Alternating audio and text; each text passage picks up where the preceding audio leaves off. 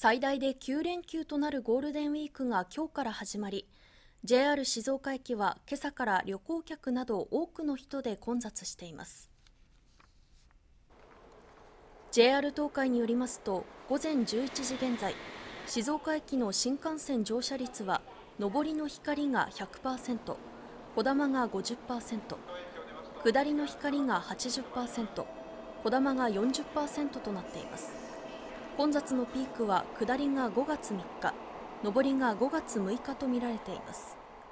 一方県警やネクスコ中日本によりますと新東名上り線の新静岡インターチェンジ新清水ジャンクション間で事故があり4キロの渋滞が出ています。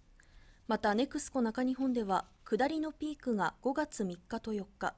上りが5月4日5日と予想しています。